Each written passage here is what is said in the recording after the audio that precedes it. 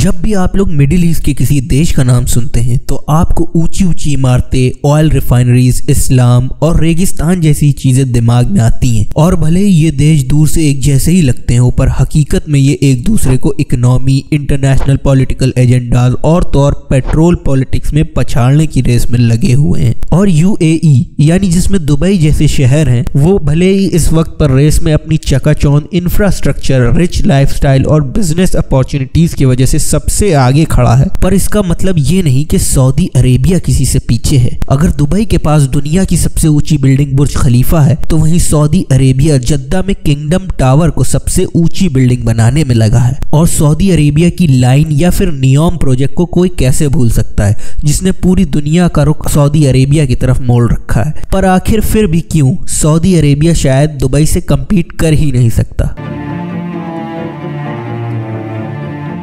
आपको क्या लगता है कि दुबई की कमाई का ज़रिया सिर्फ़ ऑयल है तो आप शायद गलत हैं। क्योंकि एक रिपोर्ट के हिसाब से दुबई की टोटल जीडीपी में ऑयल का रेवेन्यू वन परसेंट से भी कम है। और वहीं सऊदी अरेबिया इसका उलट है, जहाँ पर ऑयल प्रोडक्शन से रेवेन्यू का हिस्सा 46 परसेंट है, जिससे आप ये अंदाज़ा तो लगा ही सकते हैं कि दुबई ऑयल सेक्टर पर निर्भर नहीं है। और क्योंकि पूरी दुनिया ही रिन्यूएबल एनर्जी और इलेक्ट्रिक व्हीकल पर शिफ्ट हो रही है तो सऊदी अरेबिया की ऑयल पर इतना ज़्यादा निर्भर होना आने वाले सालों में उसकी इकोनॉमी पर कई सवाल खड़े करता है। पर ऐसा नहीं है कि सऊदी अरेबिया को अपने आने वाली परेशानियों का पता ही नहीं है। क्योंकि शायद इसीलिए पिछले दस सालों से सऊदी अरेबिया टूरिज़्म और हॉस्पिटैलिटी सेक्टर में दुबई की तरह इतना ज़्यादा पैसा इन्वेस्ट कर रहा है। एक रिपोर्ट के हिसाब से सऊदी अरेबिया ने 3.8 बिलियन डॉलर सिर्फ़ किंग अब्दुल अज़ीज़ एयरपोर्ट बनाने में खर्च किया है और सऊदी गवर्नमेंट ने पहली बार 2019 में टूरिज़्म वीज़ा भी लॉन्च कर दिया। और तो और दुबई की बुर्ज खलीफा को टक्कर देने के लिए जद्दा टावर का कंस्ट्रक्शन भी शुरू कर दिया है, जिसको बनाने में लगभग 1.2 बिलियन डॉलर का खर्च आएगा। और कंप्लीट होने के बाद ये इमारत बुर्ज खलीफा को भी पीछे छोड़कर दुनिया की सबसे बड़ी इमारत का खिताब अपने नाम करेगी। पर शायद हकीकत से ये प्रोजेक्ट अभी भी कोसों दूर है, क्योंकि एक आर्टिकल के हिसाब से जद्दा के किंगडम टावर का कंस्ट्रक्शन 2017 से ही बंद हो गया, क्योंकि इस बिल्डिंग के दो मेन शेयर होल्डर को ही सऊदी गवर्नमेंट ने अरेस्ट कर दिया, जिसके बाद से आज तक भी इसका कंस्ट्रक्शन दोबारा शुरू भी नहीं हुआ। और इसी तरह सऊदी अरेबिया का एक और प्रोजेक्ट चर्चा में है द नियोम प्रोजेक्ट या फिर द लाइन सिटी जो कि पूरी तरह से 100 परसेंट रिन्यूएबल एनर्जी पर बेस्ड होगा। द लाइन सिटी अपने में पहला अर्बन डेवलपमेंट प्रोजेक्ट होगा, जो कि 170 किलोमीटर लंबा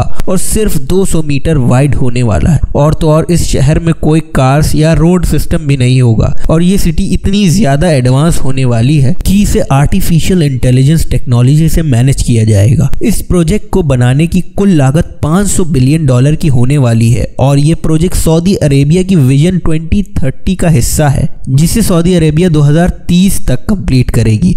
पर मेरे ओपिनियन के हिसाब से ये भी रियलिटी के कोसों दूर होने वाला है। क्योंकि जब 2013 में स्टार्ट हुए सऊदी अरेबिया के किंगडम टावर अब तक रेडी नहीं है तो 2030 तक पूरा का पूरा शहर रेडी कर देना बहुत ही मुश्किल है। पर मैं चाहता हूँ मेरा ओपिनियन गलत निकले और इतना ज़्यादा टेक्नोलॉजिकली एडवांस शहर बन के तैयार हो और वहीं दुबई ने अर्बन प्लानिंग के तहत सऊदी अरेबिया को टक्कर देने की ठान ली है और अपने डाउनटाउन का नक्शा पूरी तरह बदलने का फैसला किया है। और इस अर्बन प्लानिंग के तहत बुर्ज खलीफा के ऊपर एक तीन हज़ार मीटर सर्कनफेरेंस का सर्किल जैसा स्ट्रक्चर बनाने का प्लान किया है, जो कि 550 मीटर ऊंचाई पर बनेगा। और उसमें पाँच फ्लोर्स होंगे, जिसमें office spaces sky park luxury residence और फाइव स्टार होटल होने वाले हैं, जो कि बुर्ज खलीफा की रौनक को दुगना कर देगा। और इस प्रोजेक्ट के लॉन्च से दुबई ने ये तो पूरी तरह पक्का कर दिया है कि वो किसी देश से दबने वाला बिल्कुल नहीं है। और दुबई यही नहीं रुका, बल्कि टूरिस्ट को अट्रैक्ट करने के लिए एक मून प्रोजेक्ट लॉन्च करने की अनाउंसमेंट पूरे वर्ल्ड में कर दी। ये मून प्रोजेक्ट असल में एक रिजॉर्ट होने वाला है, जिसको बनाने में पाँच बिलियन डॉलर खर्च आएगा। और इसकी हाइट तकरीबन 735 फीट होने वाली है, जो कि दुबई को लगभग हर साल 2.5 मिलियन विजिटर ला के देगा। और ये मून रिजॉर्ट दुबई की इकोनॉमी बूस्ट करने में मदद करेगा, जिसमें 300 private luxury resident unit, night clubs, lounge, spa और इवेंट सेंटर तक होगा। और इस प्रोजेक्ट को दुबई सिर्फ़ सिर्फ़ और सिर्फ़ 48 महीने के अंदर ही कंप्लीट कर देगा। जिससे ये बात तो बिल्कुल तय है कि दुबई इंफ्रास्ट्रक्चर डेवलपमेंट की रेस में सऊदी अरेबिया से बहुत आगे है। किसी भी देश या फिर किंगडम की तरक्की का मेन क्रेडिट उस देश के लीडर को जाता है। और लीडर्स का फ्यूचर विजन ही कंट्री की डेवलपमेंट और स्टेबिलिटी का मेन कारण होता है। वहीं सऊदी अरेबिया के crown prince Mohammed bin Salman जो कि सऊदी अरेबिया के प्राइम मिनिस्टर भी हैं, उनकी पब्लिक में इमेज ही कई सवाल खड़े करती है। और मिंट की एक रिपोर्ट के हिसाब से सऊदी अरेबिया के एक Saudi intelligence officer Saad al Jabri ने मोहम्मद बिन सलमान की कुछ सीक्रेट एक इंटरव्यू में रिवील किए। साद अल जबरी ने बताया कि मोहम्मद बिन सलमान एक साइकोपैथ किलर हैं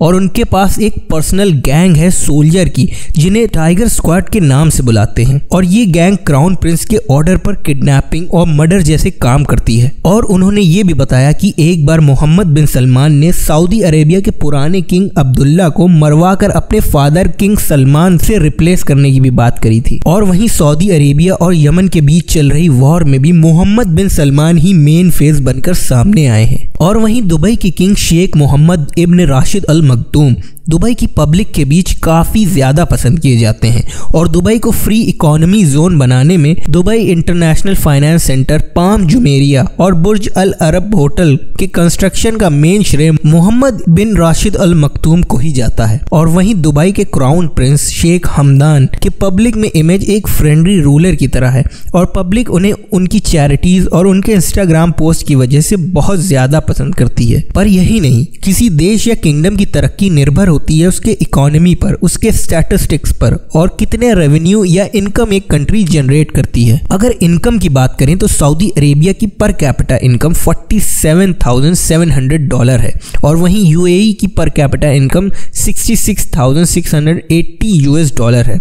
और अरेबियन बिज़नेस डॉट कॉम की रिपोर्ट के हिसाब से 2023 में यूएई की इकोनॉमी ग्रोथ 4.2 परसेंट से प्रेडिक्ट करी और वहीं सऊदी अरेबिया की 3.7 परसेंट से। तो इसका ये मतलब तो साफ़ है कि इकोनॉमिकली भी दुबई, सऊदी अरेबिया से काफ़ी अच्छा परफॉर्म कर रहा है। और अगर अनएम्प्लॉयमेंट रेट की बात करें तो यूएई में 2019 के डेटा के हिसाब से 2.28 परसेंट का अनएम्प्लॉयमेंट रेट था। और भले ही सऊदी अरेबिया लाखों लोगों को रोज़गार देता हो, फिर भी अनएम्प्लॉयमेंट रेट वहाँ का 6.13 परसेंट है। जिसका ये मतलब है कि सऊदी अरेबिया के कंपैरिजन में यूएई का अनएम्प्लॉयमेंट रेट काफ़ी कम है। किसी भी देश की फ्यूचर ओवरऑल डेवलपमेंट काफ़ी हद तक डिपेंड करती है उसके करंट एजुकेशन पॉलिसी पर। फ़िलहाल तो सऊदी अरेबिया और दुबई दोनों ही फ्री एजुकेशन पॉलिसी प्रोवाइड करती हैं पब्लिक स्कूल में। पर ये फ्री स्कीम सिर्फ़ उनकी कंट्री के सिटीजन के लिए ही सीमित है और इमिग्रेंट के लिए सिर्फ़ प्राइवेट स्कूलिंग ही ऑप्शन बचता है। और अगर प्राइवेट स्कूलिंग के एक्सपेंसेस की बात करें तो सऊदी अरेबिया का एजुकेशन फ़ी स्ट्रक्चर काफ़ी सस्ता है दुबई की तुलना में। पर फिर भी क्वालिटी ऑफ़ एजुकेशन दुबई का बहुत आगे है सऊदी अरेबिया से। तो अगर मेरे ओपिनियन की बात करें तो सऊदी अरेबिया काफ़ी ज़्यादा पीछे है दुबई से, और उसको अपने बहुत से सेक्टर में सुधार करना पड़ेगा अगर वो दुबई को फ्यूचर में टक्कर देना चाहता है। और सऊदी अरेबिया ने 2030 विजन के तहत इतने सारे प्रोजेक्ट प्लान कर रखे हैं, उन्हें उसके एफिशिएंट इम्प्लीमेंटेशन में ध्यान करना होगा,